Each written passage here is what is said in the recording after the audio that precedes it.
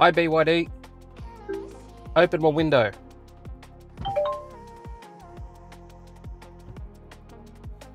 Hi BYD. Close my window halfway. Hi BYD. Set the destination to October 26, 1985. Sorry, I don't think I understand. It was worth a shot.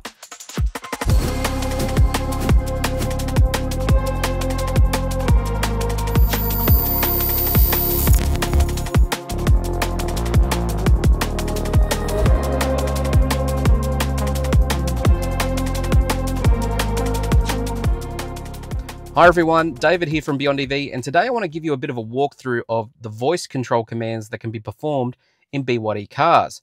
If you've looked at modern cars today, physical buttons are becoming a bit of a luxury. They are becoming fewer and far between when it comes to how you control your car from the driver's seat or even from the passenger seat.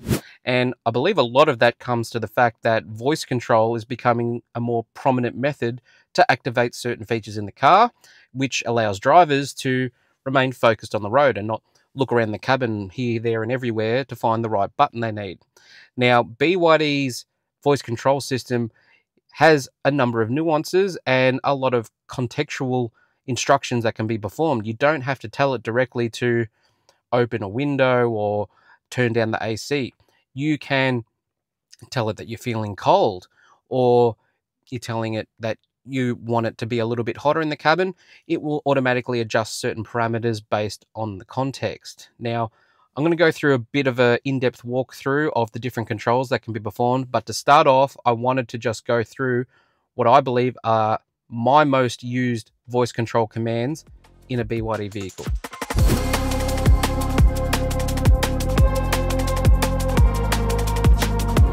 So to start off with, I just wanted to provide a bit of an insight into what I personally use the most via voice control in my BYD Seal. And the reason I use voice controls for these particular commands is because activating them through a button through the infotainment screen is quite cumbersome and there's a few menus you need to navigate through to actually turn them on or change settings. So the much easier way to control these particular functions is through the voice control. And the number one function I use voice control for is activating heated seats or ventilated seats. Going through the menus to do that requires three or four button presses to actually get to the seat heating in the BYD Seal interface. But if I just push the button on the steering wheel, I can tell it to turn it on and it does it instantly. Turn on seat heating. Sure, I'll turn on seat heating and it's simple as that. Now there's two heat and cooling settings, one and two, so you can tell it which setting you want it to set to. If you just tell it to turn on seat heating, it'll turn turn it up to two, the higher setting, but you can turn it to turn it up to one if you just wanted it at a milder setting. Set seat heating to one. Okay, I've changed seat heating to one. And there you go. So that would probably be the most common voice activated function I use in the car. So the second most common function I use voice control for is activating the rear defrost function. And that's because there's no buttons down here or anything that can be easily accessed through the infotainment system. You have to navigate through the menus to turn it on. So it's much easier to just tell the car to turn it on. Now the rear demister is actually linked to the side mirror heating as well. So when you turn on the rear demister, it'll turn on side mirror heating. And you can do it by just saying this. Turn on rear defrost. Okay, turning on rear defrost. And that's it. So this comes in really handy in on cold mornings where the windows are all fogged up. I will just jump in the car, tell it to turn on rear defrost, and it will turn on the rear defrost. As for the front defrost, there's a button right here in the center console, and I just push that, and that turns on the front pretty much at maximum speed, maximum fan speed. So I'm fine on that part. So as far as voice controls concerned, they are the two I use probably almost on every drive. So now I just want to go a little bit more in depth into the types of functions that can be controlled using BYD's voice control system and the types of context that can be used around them. And the first one of those contexts is area control.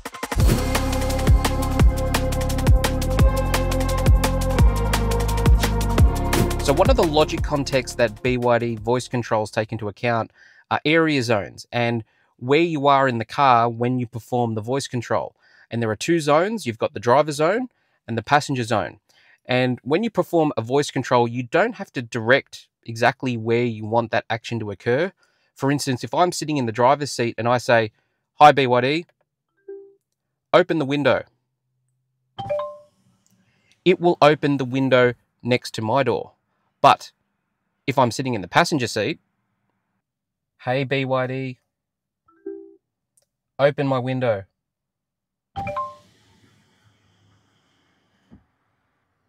If I'm in the passenger seat, it will open up my window. So that's a really good way to simplify the voice control process. You don't have to provide really specific instructions. The car will understand what you want to perform based on where you are in the car. But if you do want, say, the passenger window to open from the driver's side, you do actually have to say, open the passenger window. But if you're sitting in the passenger seat, you don't have to tell it to open the passenger window. You just need to say, open my window, and it'll open the window.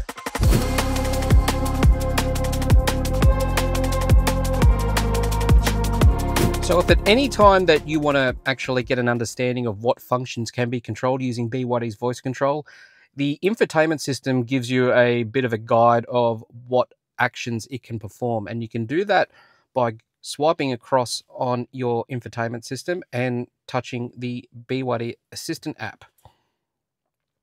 Now on the right side, you'll see BYD voice skills.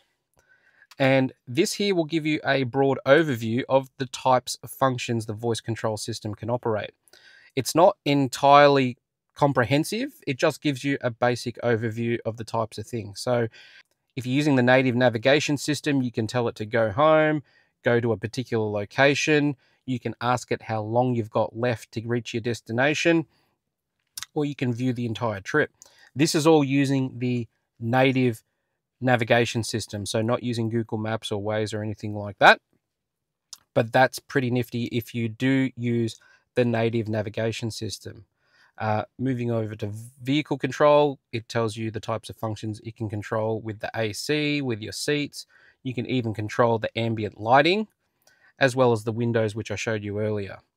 Uh, it can control your media. So if you want to play music, you can just tell it to play music and it will play music. Um, you can tell it to switch to a particular radio station. Uh, you can just tell it, I want to listen to the radio, and it will turn on the radio and switch it to a radio station. Now, there's this infotainment screen and this instruction will provide you basic overview functions, but it's not providing you with contextual instructions. So there are commands that you can provide which aren't that direct and it will use basically AI to determine what action to perform. So if I for instance want to turn on the AC and not sure exactly where I want it to set to, I can just say I'm feeling cold. All right, the temperature is going up by 1 degrees.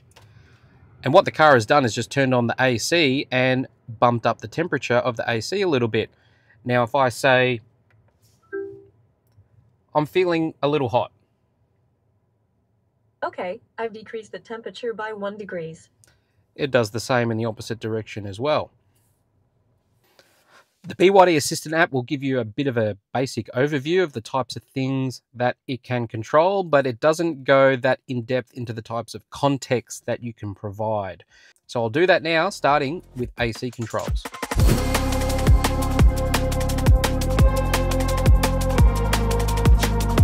So AC controls in BYD vehicles are quite comprehensive. And if you go to the AC control screen on your infotainment screen, there are a lot of functions here that can be performed and it can a little be a little bit overwhelming.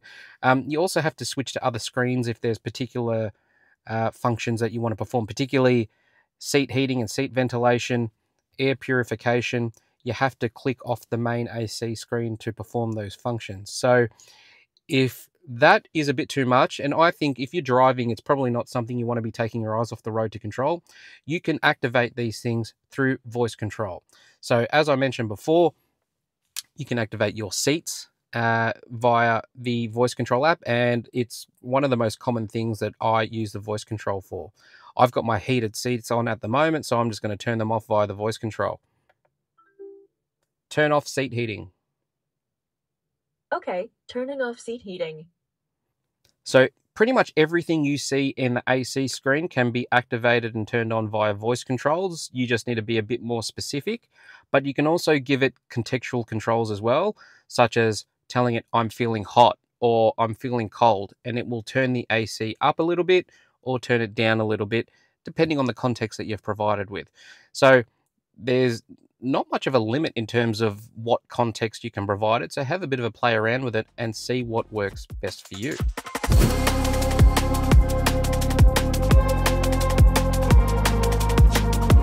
So the BYD voice control system can actually be used to control functions of the vehicle as well and things around the cabin. Things that are unique to BYD can be controlled via the voice control system. So you can actually rotate the screen by using the voice control system. So if I push the button on the steering wheel, rotate the screen. Okay, rotating the screen. Rotate the screen. Okay, rotating the screen. It'll rotate it back. You can also open the settings using your voice control system. Open vehicle settings. And it will take you to the vehicle settings screen in the infotainment system.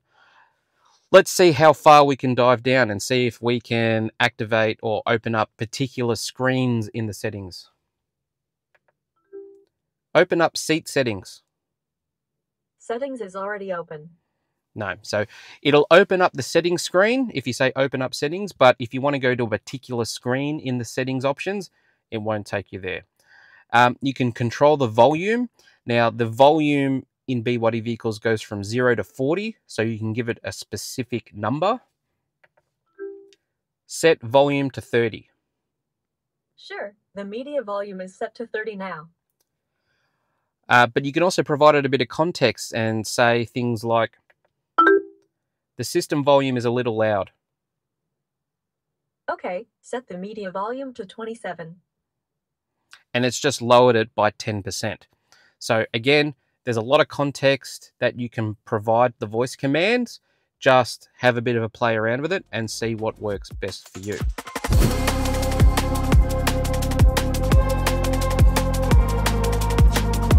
So the BYD voice control system can be activated by voice or using the button that you see here on your steering wheel. Now, I prefer to use the button on the steering wheel because I found the voice activation or wake up can be a little bit touch and go, but the button is solid. In addition to controlling items in the vehicle itself, such as your AC, your windows, and your seats, with BYD's voice control system, the button on the steering wheel also doubles as your Google Assistant or Siri voice control assistant as well. And if you've got Android Auto activated, you can perform Google Assistant commands or Apple Siri commands by using this button as well. So I've got my Android Auto connected, although I'm just not in it at the moment. I'm in the infotainment screen. But if I short press the button, it's going to provide controls to the native BYD system. But if I long hold the button, it will provide controls to the Google Assistant in my Android Auto screen. So I'm just going to tap, take me to the nearest hospital. Here's what I found. Which would you like? And as you can see, it's tried to find me a hospital using the native BYD navigation system. Now I'm just going to back out of this now. And now I'm going to long press it and see what it does when I ask it to do the same thing. Take me to the nearest hospital.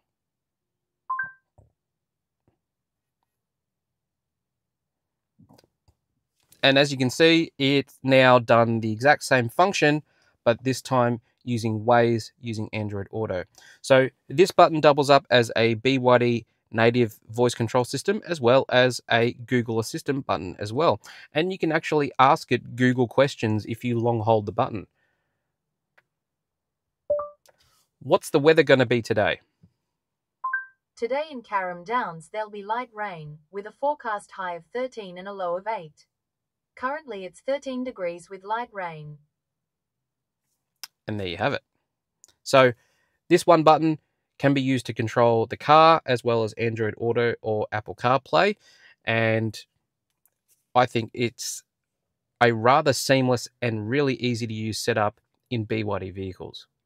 So that's it. That's BYD's voice control system in a nutshell. And I know I didn't go through absolutely everything the system's capable of, but I just wanted to provide a broad overview of what it's capable of.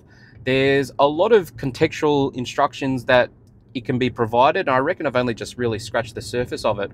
But if you're a BYD owner and use the voice control system and there's a particular context instruction that you provided and don't think others use it enough or should be using it more, let us know down in the comments. I'm interested to hear what other BYD owners use the voice control system for. And if you like this video, please give it a thumbs up. And if you're new here, subscribe to Beyond EV and hit that notification bell so you're updated with new BYD related videos as they come up. I've got plenty more headed your way. That's it for now.